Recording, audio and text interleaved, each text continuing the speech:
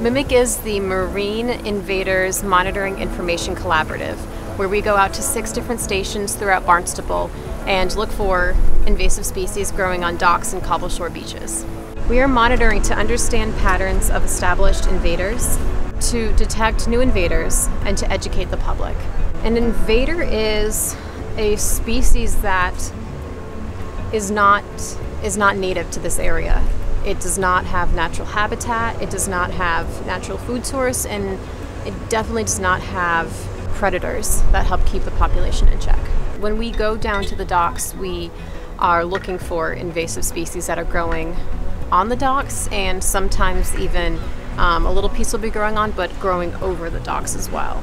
They'll be underneath, they'll be on the sides, they can be on lines strung across, on buoys, sometimes even on boats if the boats are have been stationary long enough. Some examples of invasives that we look for include club tunicates, sheath tunicates, star tunicates. We look for orange striped sea anemones.